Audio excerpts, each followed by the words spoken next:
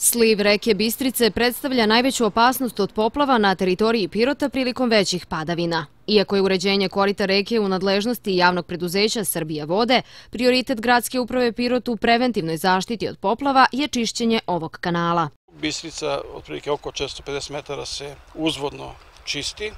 čime se obezbeđuje bolji protok vode i na taj način brže ovaj, neće doći do eventualnog plavljenja, dakle smanjenja rizika od poplava, a druga stvar možda i značajnija jeste evo već privodimo kraju ovaj, završetak radova na uređenju dela korita kanala Rogos pored romskog naselja dužine oko 560 metara, tako da očekujemo ovih dana da bude,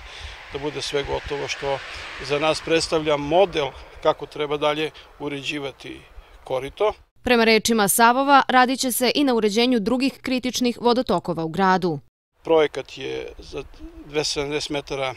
od e, mosta ka Prisijanskom naselju e, kanal Rogoz je e, gotov, spreman da eventualno naredne godine krenemo sa realizacijom projekta, a treba pripremati projekte za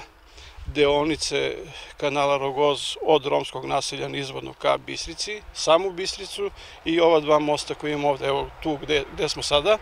i nekih stotinjak metara most kod, kod e, Sarlaha koje treba preurediti jer oni zaista e, nisu, nisu u mogućnosti da imaju propust ispod, ispod mosta